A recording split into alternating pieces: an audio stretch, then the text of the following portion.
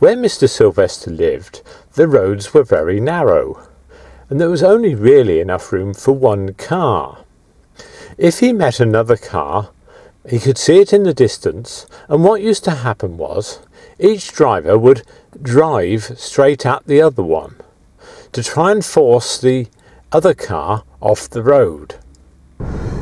But people didn't really want to get their cars dirty, so they didn't want to go into the verge and get mud all up the side of their car. So quite often it was a battle of nerves. Who was going to pull over last? Who could be the most threatening? On one of Mr. Sylvester's little drive outs, he hadn't had to pull over to the verge at all, and he'd kept the car absolutely clean. The only problem was at the next junction a car pulled out right in front of him and wrote his car completely off. He just thought, that's not fair.